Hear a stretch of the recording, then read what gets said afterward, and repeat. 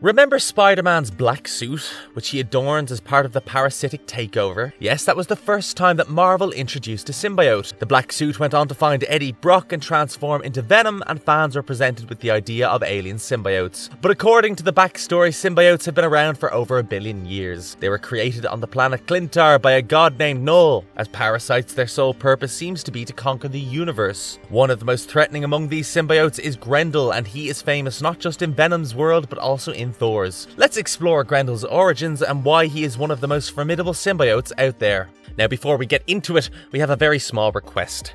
If you like our content, please support us by subscribing to our channel. This is just a click for you, but for us it means a lot. Thank you very much. Now let's begin. A detailed history and backstory of Grendel. Grendel was among the first symbiotes created by Knull to vanquish universes, kill other gods, and also spread darkness by extinguishing celestial lights. While most other symbiotes were parasites, Grendel did not need hostile takeover of bodies to survive. Oh, and did we mention that Grendel was a dragon? Yes, Knull created symbiote dragons using his own blood, and Grendel was one of the most powerful ones. He was black in colour as he was formed from integral matter of the living abyss with yellow or sometimes glaring red eyes. So let's dig a little more into Grendel's origin story and how he emerged to be Venom's most significant nemesis. We got a glimpse of Grendel's origin story in Scream Curse of Carnage when Scream intercepts the black goo from the sewers. She says she saw God, but in reality she witnesses Knull creating two symbiote dragons. Grendel and Big Mother. The dragons travel across the universe, destroying life from one planet to the other. Finally, they unleashed havoc in their wake on Earth in the 6th century, which was also the Viking Age. The dragons annihilated cities, killing thousands and setting fire to everything that crossed their path. According to Knull, he found the humans on Earth too weak to put up any resistance, and the only thing that attracted him to this planet was the light it emitted. The Vikings prayed to Beowulf to come to their rescue, but their screams were heard by Thor, the Asgardian god of thunder who rushed to their aid. A nerve wracking battle ensued between Grendel and Thor. Wielding the power of Mjolnir, Thor rained lightning on Grendel and locked him in a glacier. He then moved on to defeat Big Mother too, ending the domination of the symbiotes on Earth. But Grendel's story didn't end just there. At the peak of the Vietnam War in 1965, agents of S.H.I.E.L.D. uncovered the glacier where Grendel's frozen body lay in a dormant state for over a millennium. And as we very well know, S.H.I.E.L.D. is always looking to manipulate celestial or alien objects to create weapons to fight their wars. In this case, S.H.I.E.L.D. was looking for replacements for a missing Captain America and found a way to extract the living abyss from Grendel's body. They then used this biomatter to combine it with the bodies of injured soldiers to create super soldiers. Thus, Grendel's living abyss formed his offshoots, who took the soldiers' bodies as their hosts. And guess who headed this Sim Soldier program? Yes, the entire program proceeded under the watchful eye of Nick Fury himself. But S.H.I.E.L.D. was in for trouble, for they didn't understand the full extent of what they had done, as usual. The dormant body of Grendel was actually alive, and his offshoots were connected to him, just like the hive mind. Now, S.H.I.E.L.D. faced a dire situation to control not only Grendel, but also the offshoots. They tried various experiments on the dragon to find a way to kill it, but the effects of these experiments were felt by the super soldiers, causing them to run rampant and massacre people in their way. Finally, S.H.I.E.L.D. found a way to keep both Grendel and the offshoots in a latent state. They locked the dragon with his subdued offshoots in a remote location and immediately shut down the Sim Soldier program. But did Grendel stay imprisoned forever? No, absolutely not. The big showdown of Grendel coming back to power and his eventual end came during his fight with Venom. With S.H.I.E.L.D.'s downfall, the remotely locked up Grendel and his offshoots were being moved to another location. By this time, the transport was interjected by Venom, who was tipped off by Rex Strickland, a Vietnam veteran, and thought he was trying to save the other super soldiers. But Venom unwittingly ended up waking up Grendel, he watched the dragon rip apart the super soldiers to fuse back with his symbiotes, but there was one symbiote that was still missing from making Grendel whole again. Yes, that's right, Rex, aka Tyrannosaurus symbiote, who was the last of the offshoots to go into hiding to avoid unifying with the dragon. Nonetheless, Grendel regains his power and re-establishes his connection with Knull. He continues on his mission of destroying cities and this time unleashes his wrath on Manhattan. Venom unites with Spider-Man to fight the dragon using Spidey's Venom Blast. Grendel swallows Spider Man, who then lets loose the venom blast inside Grendel's mouth. But instead of killing Grendel, it makes way for Knull to use the living abyss to create an avatar of himself. He then reconstructs Grendel's body around Spider Man, Venom, and himself while narrating the story of how he produced and can control symbiotes across the universe. Venom and Spider Man have a daring escape from Knull's prison, and Venom goes on to find the missing piece of Grendel's offshoots. Venom convinces Rex that the only chance they have of defeating Grendel is by merging their two symbiotes and fighting as one strong unit.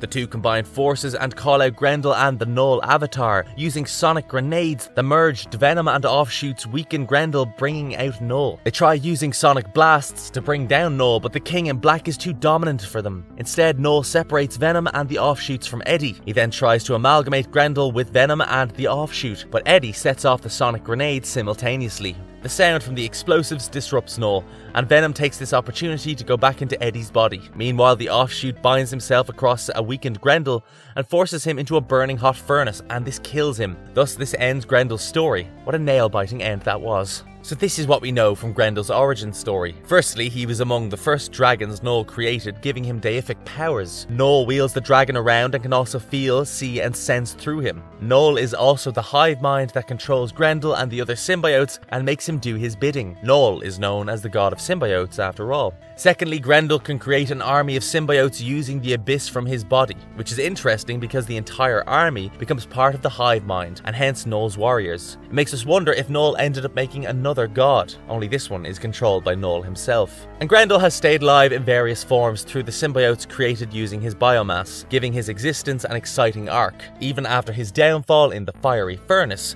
some form of him was left behind. Let's see if Grendel's iterations and offshoots have had the same sort of power, or if they were a diluted version of him. Exploring the major iterations and offshoots of Grendel. We have already discussed the first of Grendel's offshoots, the Sim Soldiers and Tyrannosaurus, and how the latter ended up killing Grendel by burning him in the furnace. But here is an interesting part of the story. Some of Grendel's biomatter survived and was discovered by Dr. Reed Richards, aka the Maker. The Maker stored the sample for research and to stabilize a version of the Venom symbiote, but unfortunately the Cult of Knull stole the sample. Fun fact, the Cult of Knull also had symbiotic matter from the living abyss in them, which had landed on Earth after Thor defeated Grendel. Scorn, a member of the cult who was highly influenced by Knull, unites Grendel's biomatter with the dead body of Cletus Cassidy post his Carnage symbiote's destruction. She believes that this would allow Knull to use his body as an avatar, but Knull and Cletus both try to fight for control over the reincarnated body. Additionally, Grendel's offshoot rips apart the symbiotic codices from Scorn and absorbs it within Cletus's body. At the same time, some of the leftover Carnage symbiote from Cletus also merges with the Grendel symbiote, giving birth to the Dark Carnage. With memories of Carnage taking over Grendel's offshoot, the connection with Knull is severed. Now, Cletus wants Knull to be freed from his imprisonment and become the next King in Black. But in order to restore his connection with Knull, the Dark Carnage has to assimilate as many codices as possible. So, where does he find them? Any guesses? So we know that the Sim Soldier program was shut down after S.H.I.E.L.D's massive failure with the Super Soldiers, but it's not all over for them yet. Weapon Plus, a program funded by the US government, puts up a sneaky show and gets their hand on the symbiotic samples. They continue their research on the codices, calling their weapons program Weapons 5. Their research helps them understand the connection of the offshoots with the hive mind. They then start manipulating the samples and are able to find a way to cut off the connection and fashion bio body suits from the symbiote codices. In his search to reconnect with the Hive Mind, the Dark Carnage finds the Weapon V facility and wreaks havoc, killing many people. The program is therefore put on hold and all codices are locked up in stasis to keep them hidden from Carnage's attempts. Later, Alchemax, a company created by Norman Osborn under disguise, comes in possession of the biosuits and uses the codices from them to manufacture the anti-venom armors. So clearly the Grendel genetics have travelled a considerable timeline across the Marvel universe. As we mentioned earlier, Grendel is one of the most dynamic symbiotes and his iterations and offshoots also possessed significant potency. Of course, they were no match to Grendel himself, but what is the extent of the powers that Grendel possesses? Here is what we've learned from the comics.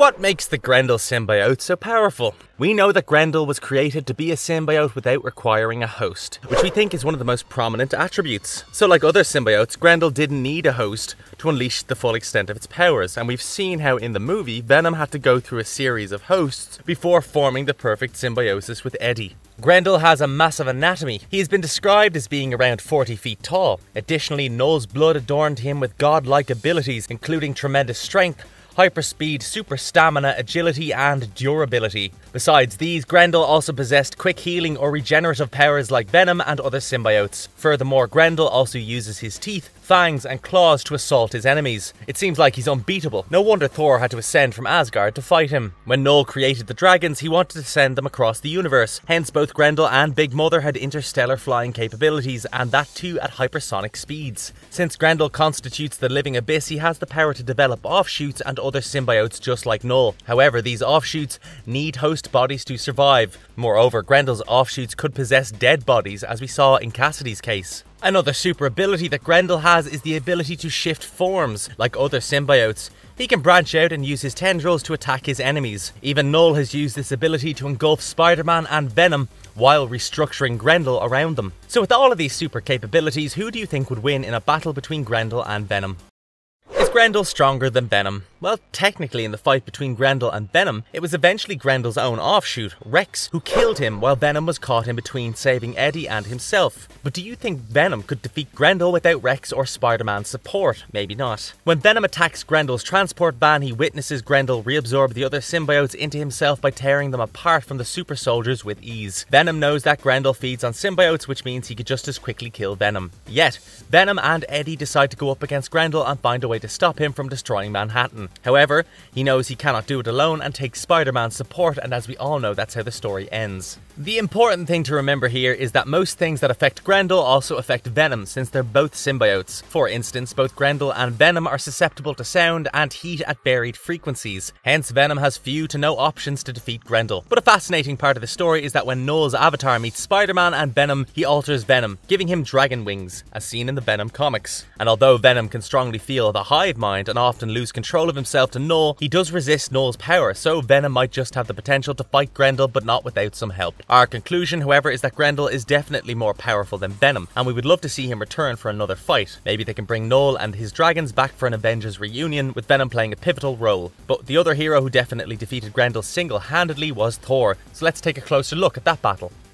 Is Grendel vulnerable against Thor's Mjolnir? Thor's Mjolnir has proven to be a powerful weapon in the Marvel Universe, and only those who are worthy can wield its power. The only Avengers who were able to lift Mjolnir were Thor, Captain America, and Vision. Thor uses Mjolnir to bring down the full power of thunder and lightning to strike his enemies, and, and almost all his adversaries are susceptible to electricity, including the almighty symbiote Grendel. As we know, Grendel and Big Mother had laid waste to thousands of civilizations. They'd also killed gods as they did Knull's bidding to conquer the universe. It was only in the 6th century that they reached Earth. Somewhere in Denmark, they built their hideout behind a waterfall where they would return after every attack. On Earth, they killed millions, scourging cities and killing humans and animals alike. This was when Thor caught Grendel's whiff. One of Grendel's weaknesses is high voltage electricity, and well, Thor is known as the god of thunder. So Thor engages in a battle with Grendel and defeats the dragon using the power of his hammer. Thor sends across a giant bolt of lightning using Mjolnir to weaken Grendel's attack and then engulfs him in a glacier. Mjolnir's blow was so powerful that even Knull felt it as he describes to Venom and Spider-Man, Your thunder god unleashed a power I had never before felt on all the worlds I had wrapped my horde around, and in the blink of an eye, he stabbed it like a billion needles in our hearts. It also ended up severing Knull's connection with the symbiotes, leading to Knull's imprisonment in the Dark Abyss. So Grendel is definitely vulnerable against Mjolnir, but the one thing we would like to highlight is that Grendel is probably vulnerable against Thor himself. In Thor Ragnarok, when Hela discovers Mjolnir, Thor finds a way to exercise the power of lightning without his beloved hammer. He could probably use the same force against Grendel and Knull without needing Mjolnir at all. Wouldn't that be a fight worth watching? What are some of the other major weaknesses of Grendel? Is it easier to defeat an enemy with only one weakness or many? Well, that's a debate for the comments section, but for now let's focus on Grendel's weakness, or should we say, weaknesses. We know Grendel has godlike powers similar to Knull, but he has a few weaknesses, although limited. His first and most dire weakness, as we saw when Thor defeated him, is electricity. Even Spider-Man had used electric blasts, which he called the Venom Blasts, to weaken Grendel's attack and transform him into a disrupted nebulous form. High frequency sounds have been Symbiote's biggest weakness. We have seen how Spidey's black suit disconnected from him, with the bell ringing continuously. Even Venom had discarded Eddie when it came to high frequency pitches. Similarly, Grendel too is affected by loud noises, which we saw when Spidey and Venom used sonic grenades to weaken him. Another symbiotic weakness that also affects Grendel is fire, which also leads to its eventual downfall when it's faced by venom. However, Grendel is more resistant than most other symbiotes to fire. For instance, when he's attacking Manhattan, the US Air Force is blasting grenades on and around him, and it doesn't affect the dragon as much. It was only when the sonic grenade went off that he was destabilized. Of course, one can debate how fire breathing dragons can be susceptible to fire, but as we said, small amounts of fire don't affect Grendel. Grendel has given us a lot to think about, traveling between the Marvel universes and bringing us some epic fights. He's undoubtedly an extremely daunting symbiote introduced by the comics and seems to be on a continued journey through his offshoots. It'll be interesting to see what happens next with Grendel and if he'll ever be resurrected. What do you guys think about this mighty symbiote? Share your thoughts in the comments section below.